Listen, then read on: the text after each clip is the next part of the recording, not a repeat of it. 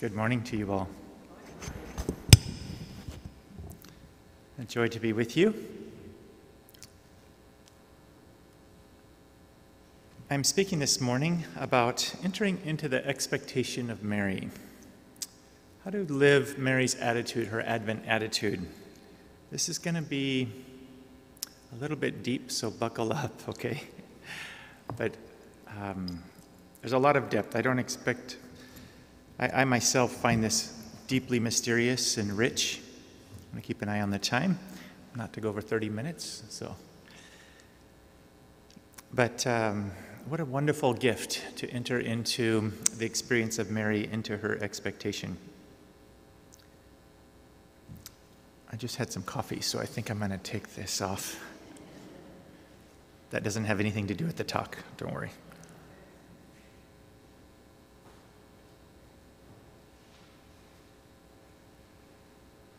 All right, dear sisters in Christ.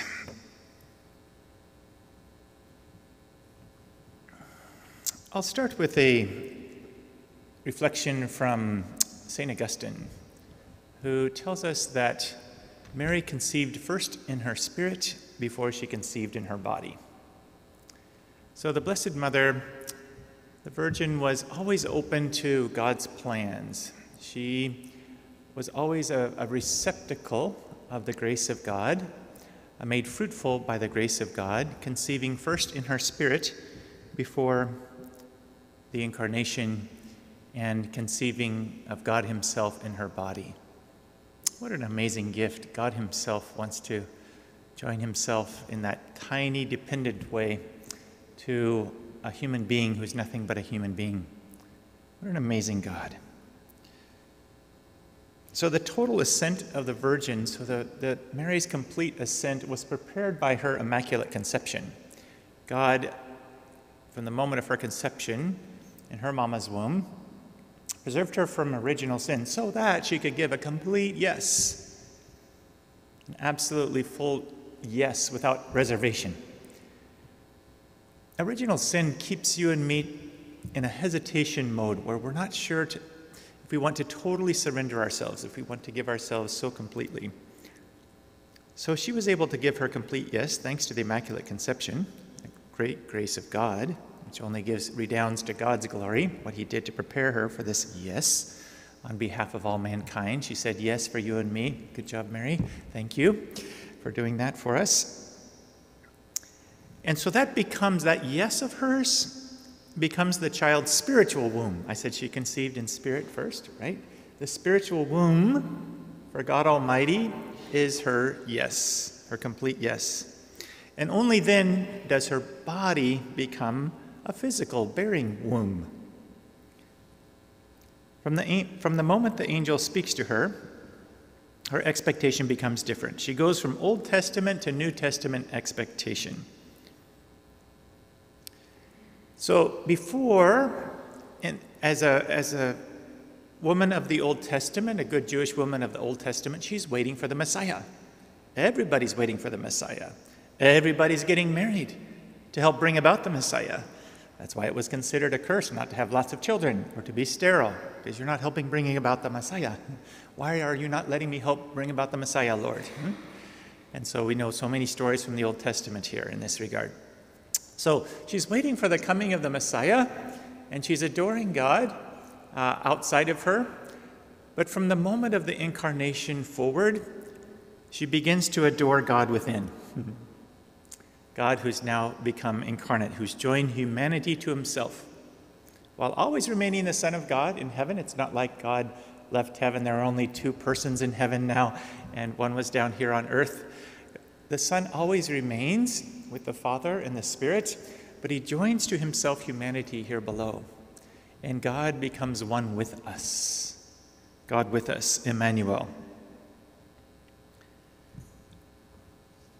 When she spoke her assent, she was a representative of you and me, and she prepares a place for the coming of God.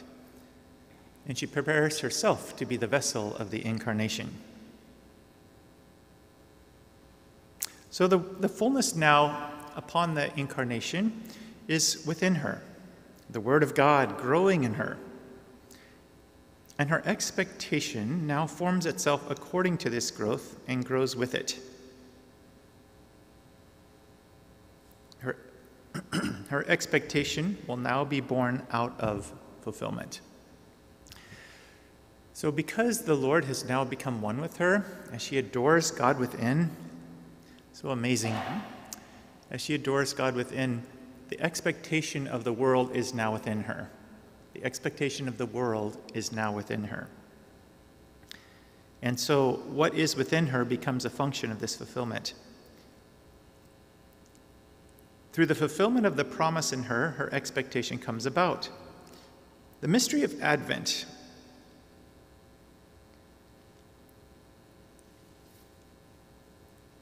is something that Mary will pass on to the church as a permanent state. This expectation, too, is primarily a spiritual and only secondarily a physical expectation.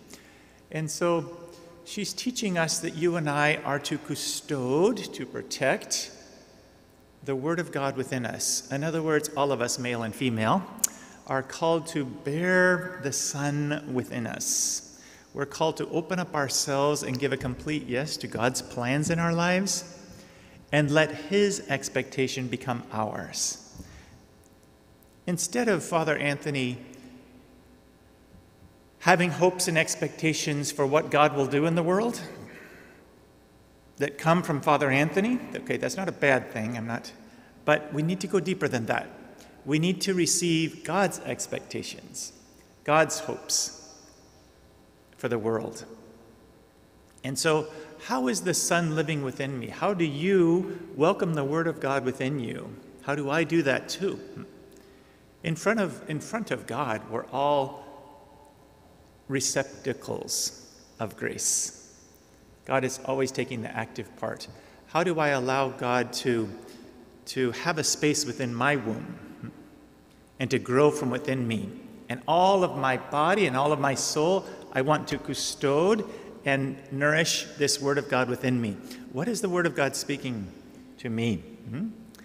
And how am I allowing it to grow within me and letting that form my expectations. So, in other words, my expectations, my hopes become those of God. What are God's hopes for our world today? What are God's hopes in the midst of COVID? What are God's hopes in the midst of so many children, grandchildren falling away from the church? What are God's hopes? And conforming mine to His. Mary does that well.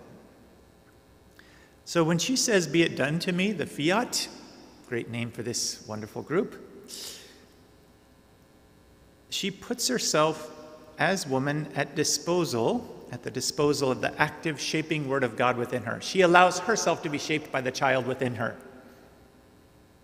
Not unlike if you've been pregnant, notice how your body has different cravings now because there are two of you.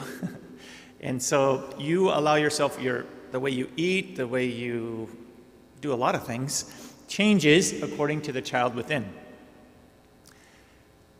And you do extra things and you take extra nourishment, perhaps. You, you accommodate whatever the needs of the child within you are. And so, too, uh, that, that remains very true spiritually. She has this spirit of what you can call active receptivity, probably the best way to understand the Blessed Mother and her expectation is active receptivity. That's what you and I are called to active receptivity. So, primarily, it's a receptivity to what God wants to do in my life. I'm, I'm receptive to that, but actively so. I'm not a bump on a log kind of, okay, Lord, do something, you know, do something, you're awesome, I'm nothing. Um, it's not like that. It's an active receptivity. So, the Lord wants to form me. I'm called to this spirit of what Ignatius will call holy indifference. And holy indifference means that, like soft clay, I can be molded into any kind of vessel the Lord wishes. Any kind of vessel of grace the Lord wishes. And do I remain soft and pliable, or does He harden me? The answer is I remain soft and pliable. I remain soft and pliable.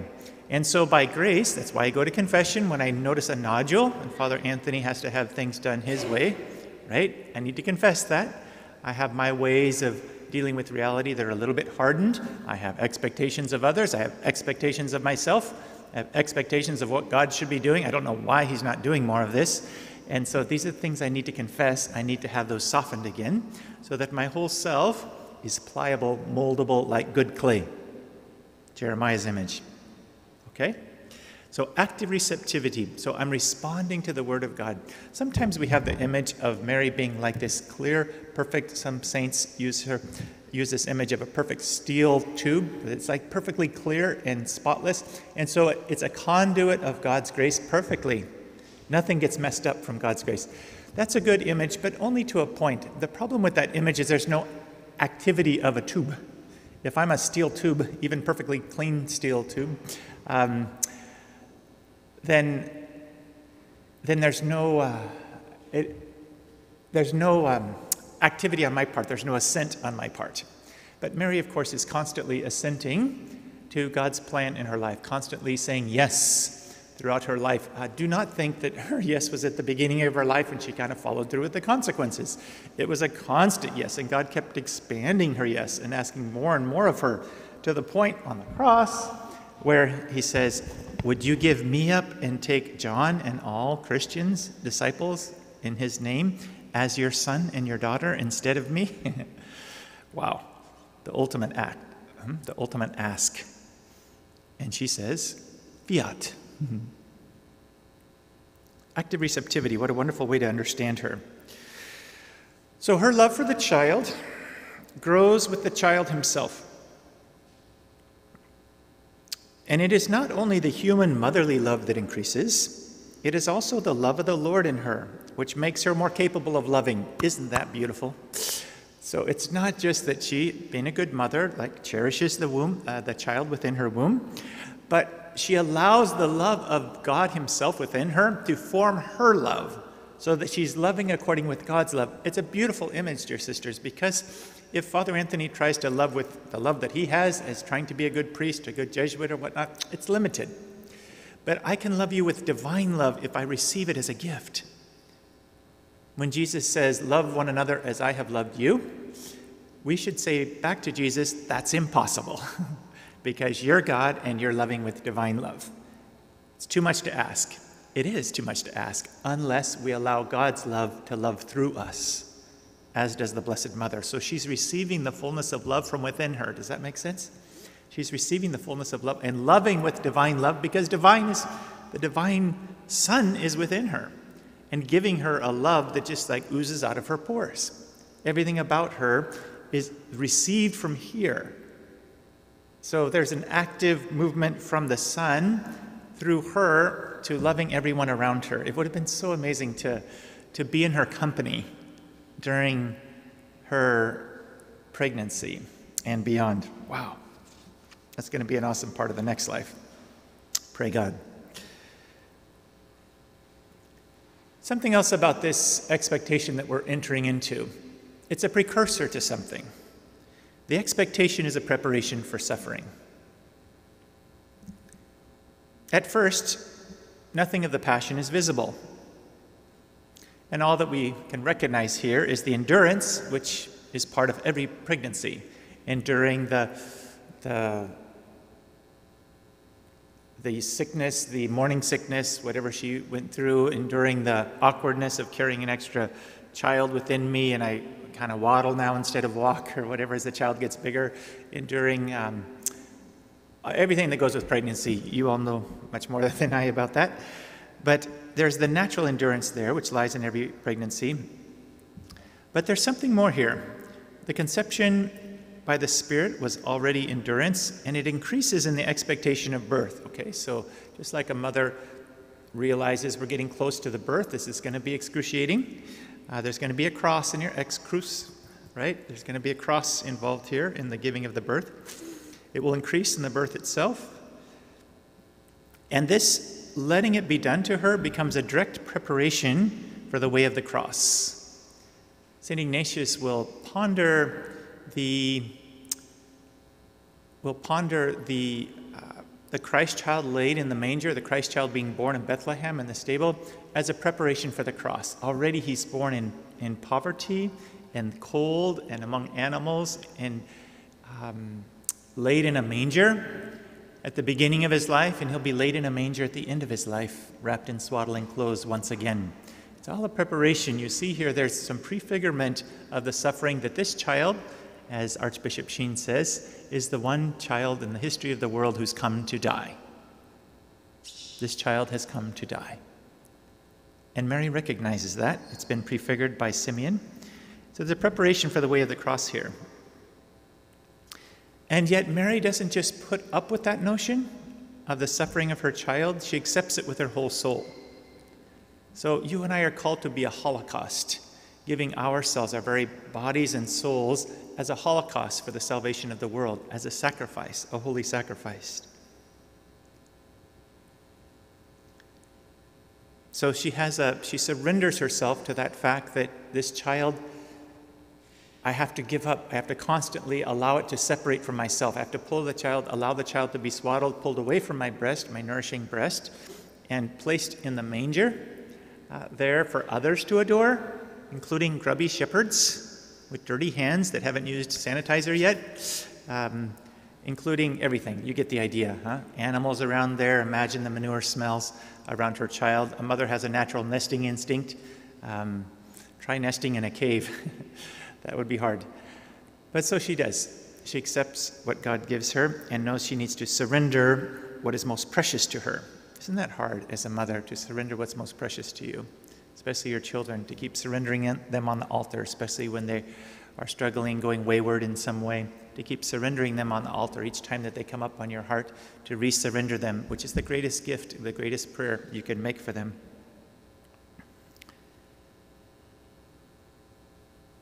She's ready to give her son to mankind. Even as an expectant mother, she was perpetually giving him away. There is in her life no season that is simply one of expectation and then goes over into the state of having been born to make room, lastly, for the period of the way of the cross. Rather, the mother gives the son uninterruptedly to the world and to the father. She's constantly surrendering her child. This the Jewish people understood well. The time of the presentation, that child belongs, that child born of the womb, especially the firstborn male, is going to be raised by the temple priests, not your child. Not your child. The only way you can redeem the child is to allow some other animal to be sacrificed in its stead a bull, heifer, goat, or if you're really poor, two pigeons.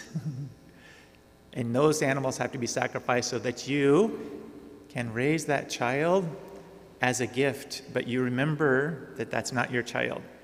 That's hard for us, isn't it? Not to think, these are my children. These are my children. Uh, how many children do you have? People ask us those questions. And we have to always keep in mind this Marian attitude of these are not my children, they're God's children. My spouse and I had a marital act that we named nine months later, but these are really God's children. And so I'm constantly resurrendering them on the altar, on the altar of sacrifice.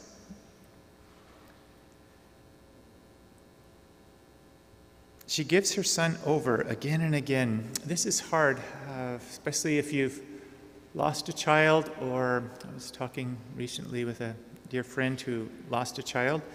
And it's hard to remind ourselves that, that this child always was God and uh, always belonged to God. And so, for instance, in a miscarriage, uh, that, that the pain of the miscarriage is an invitation, it's a reminder that that child always was God's, fulfilling his or her mission from a, from a very young age. And I was never, I can never grasp onto that child. It's so tempting to grasp. It's almost like our natural reaction is to, to make a fist and to hold on to something as opposed to let go. But the invitation is, of course, to let go, even though it's so easy to hold on tight like this. She never regards herself as owner of the Son, but always knows herself to be standing in the service of a duty which far surpasses her. As mother, now here's the Trinitarian dynamic. As mother of the eternal Son, she discovers that the eternal Father is eternally taking from her the Son whom he eternally gives her. And in receiving the Son back from her, he gives her at the same time his ever greater presence. There's a dynamic there of a constant surrender as the mother's praying over the son within her. This is your son, Heavenly Father. She develops this profound intimacy with the Heavenly Father. This is your son growing within me that I am custoding. Never does become my son. This is your son sent for the salvation of the world. She knows what's going on within her. I, I don't, it's a sweet song in one way, the sound of it, but the theology is not so good. Mary, did you know? you know, all that is like, the answer is yes, yes, and yes. she knew. Um, so she knew that this babe born within her would be the savior of the nations. Uh, it was foretold, angel told her directly. She had pondered this, and yet she knows it's not her son. Huh? This, is, this is the Son of God born within her. She's not, she did not conceive by natural means, we know. And so she's constantly surrendering that son over, overcoming that tendency to cling to her child, surrendering him back over to the father, back to surrendering the, the, the father's son back to him, and then receiving evermore this gift that remains pure gift within her, that grows from within her, that eventually is born forth. And as he's born forth, he's constantly, she constantly offers him back to the Lord as gift. You and I are given this grace of faith. We're given what is the Son within us? What is the Word of God doing within us? How do you and I take care of the Word of God? And how do we appreciate that Word as pure gift? Taking care of that Word, I want all of my, my bodily, my spiritual senses to guard and to protect and to share this Word of God growing within me. How does the Word of God make me pregnant? How does the Word of God make me fertile? How do I share this fertility with others? How do I share the Word of God with others and recognize it's not my word? It's a, it's a, it's something I've, it's a, it's a Word of God that I, it's an inspiration this Advent that I'm sharing with others. It's a reflectiveness. Um, as difficult as it is to keep focused during Advent when there's so many things coming at us, it's so important because the Lord is speaking a few words to us. And we need to custode what those words are. What, how is the Lord speaking to me? And share those words with others. Because they belong for the redemption of the world, they belong to others. So Mary is drawn out of a simple personal intimacy between herself and the child and into the depths of the mysteries between the Father and the Son. I'm going to share with you how not to do this, okay?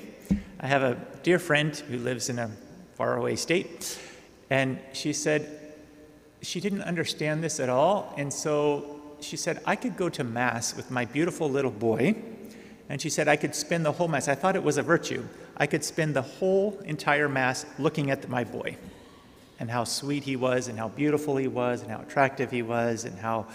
And I thought that was kind of amazing how I could spend the entire Mass looking at my child. And so it was all about her and her child. And there was no third party. And so she would never look at the priest, she would never look at the sacrifice, she would never surrender her child because it was her child. That's how not to enter into a relationship with your child. There's no third party there, there's no life and fruit there. Is there someone in your life maybe not your direct child, but someone who's your spiritual child that you kind of cling to, and that's your child. I don't surrender that child. I don't surrender that child on, on the altar. Who's your child? Could be a parent of yours. I don't care what the age is. Huh? Someone you're concerned about. Is that your? Is that your initiative? Is it your person that you're taking care of? Or are you regularly surrendering God's child back to God? Is there a way in which I'm becoming possessive of somebody? And it could be somebody in, in need, an inconsiderable need. Entering into the expectation of Mary is this surrender of those most precious to me, surrender of them back to the Lord, receiving them back on my heart. There's a dynamic going on here. And Mary enters into it of receiving this gift from the Father, giving this gift back to the Father. She enters into the Trinitarian dynamic. The Father is all about his Son and he loves him in this complete spirit of love. And the Son is all about the Father, giving himself back to the Father. And Mary is the receptacle of this giving and enters into that spirit of giving. Kind of deep, huh? I can't say that I understand that, but I get the sense of it, huh? And, and that, that call to, to not hold on, you know, if I have a sick relative or my mama becomes sick or something, to not hold on and to get the Lord to do what I want the Lord to do for her, but to keep surrendering her. Not my will, but thine be done. That's how every prayer should be. There should be the spirit of that in every one of my prayers. And yet, Father Anthony has this tendency to say, Lord, please come to my will. and I forget the last part. and I keep begging the Lord, and I'll try different prayer practices to get the Lord to come to my will, because I really think my will's good. and there may not, it may not be wrong as such, but it's not whole because I'm not surrendering.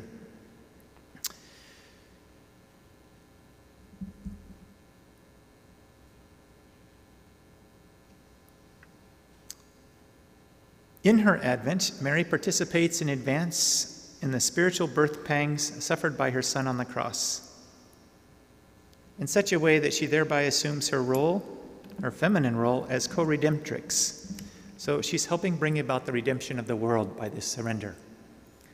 And she's going to have to surrender her son from the very beginning, from the very moment of her conception, wanting to share him. Yesterday we had the, her running, taking off 90 miles by foot to go help out her. No, that's coming. I'm sorry, I just wrote a meditation for it. I'm so confused. It's coming up this Sunday. um, the visitation.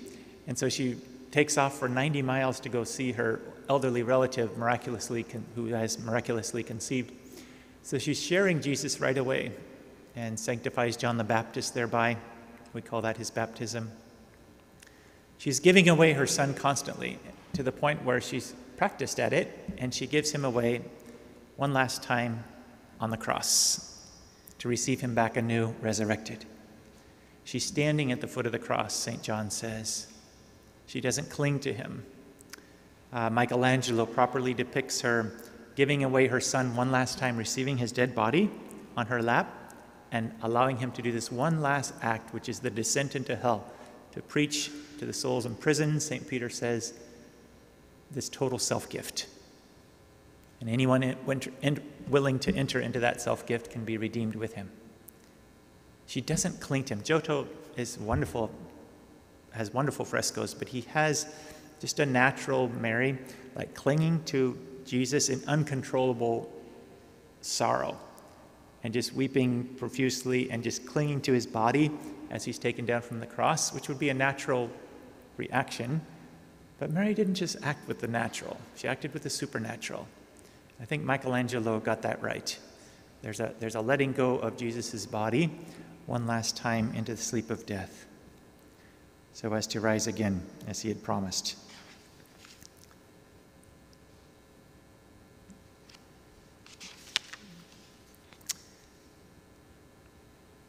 All right.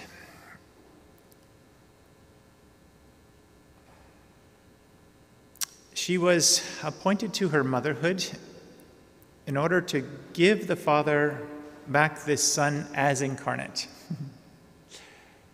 and there's something that the Son will learn from her this, this surrendering action of giving oneself back to God.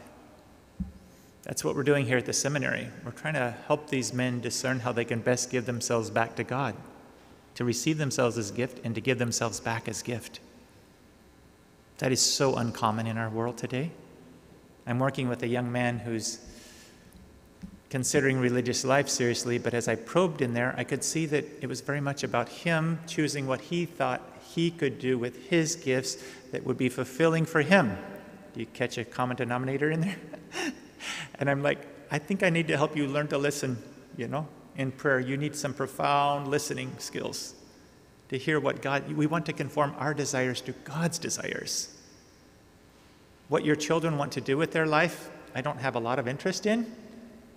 What they, what God's desires are for them, there I have lots of interest. And if there are men here who realize at a certain point that God's desires are not to be in the seminary, we happily let them move on. Huh? But it's listening to God's desires. Entering into that expectation is a very, very much a listening process.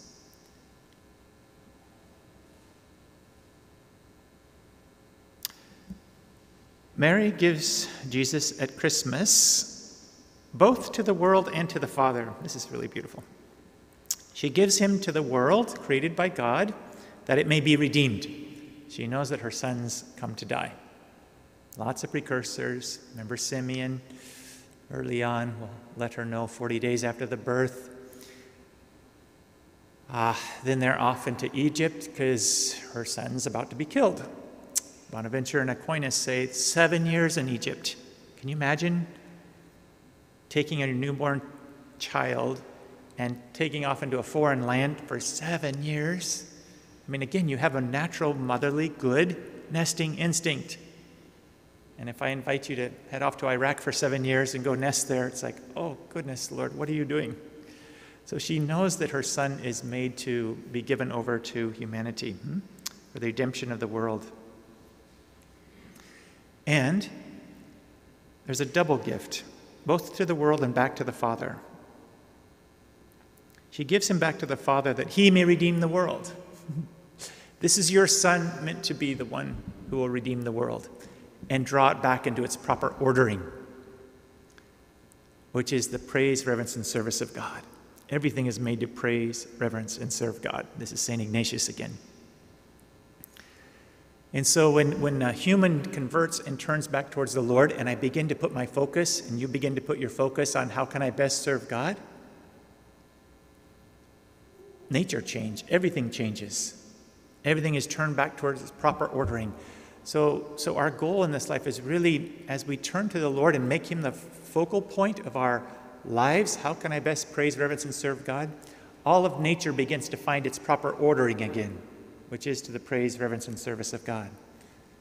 So it's not so much our spiritual life is about seeing God in all things as drawing all things into God, getting it back into its proper ordering. But that starts with humans. How do we reorder ourselves, for starters, towards the praise, reverence, and service of God?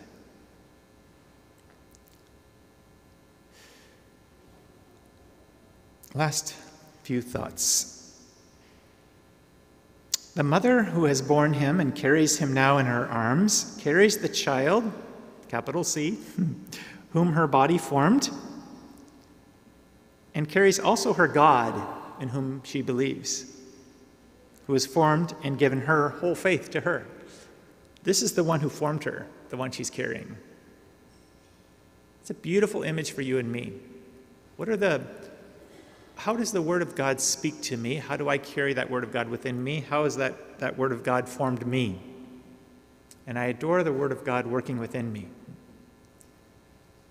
This beautiful interplay here of allowing herself to be formed by the Word of God, allowing herself to surrender this, this God who has created her and given her his faith and given her his love she, she contemplates this love of the Father given her in this child, and she wants nothing more than to surrender this child back to the Father constantly and to live within that same dynamic of surrender.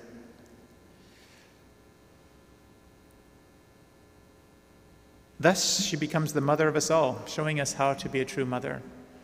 And Jesus will say elsewhere in Scripture, doing the will of God is to become brother, sister, and mother to me, we're called to become mother of the word also. We men too, by the way. There's nothing too particular here that's uh, related to the sexes that we men are not called to, to take in the same way. In front of God, we are all actively receptive. God is always taking the initiative in our regard. We are the ones called to bear forth the word of God.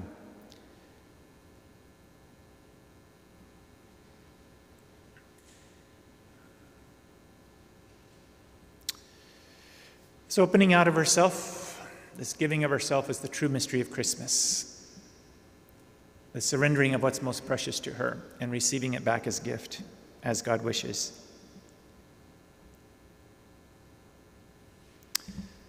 As the mother became fruitful to receive the Son, so she will now on be fruitful in the Son to become mother of us all. The future fruitfulness will be double that of the Son in the mother, and that of the mother in the Son. I invite you then, as I come to a conclusion here, that to ponder and to ask the Blessed Mother, what is it in my life that I'm called to custode, to protect, and to surrender? What, am, what is the Word of God? How does the Word of God speak to me? How do I allow my faith to be a precious gift? See, faith is a theological virtue given us by God, infused. How do I allow my faith, my hope, my charity to be received as a gift, to be nourished as a gift, and to be surrendered over to others. How am I called to have that kind of expectation of Mary that's, the, that's godly expectation, not just Father Anthony's expectation? But where's the Word of God speaking deeply within me? How do I protect that? When you, when you notice something touching you deeply and you notice that resonance, take care of that, protect that. Let everything about you nourish that that new life within you, the Word of God.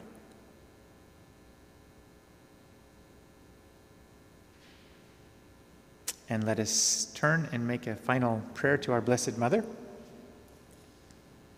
We will pray the Memorare. Remember, O most gracious Virgin Mary, that never was it known that anyone who fled to thy protection, implored thy help, or sought thy intercession was left unaided. Inspired by this confidence, I fly unto thee, O Virgin of Virgins, my Mother. To thee do I come, before thee I stand, sinful and sorrowful. O Mother of the Word incarnate, despise not my petitions, but in thy mercy hear and answer me. The Lord be with you. The Almighty God bless you, the Father, and the Son, and the Holy Spirit. Go in peace, custoding the Word of God.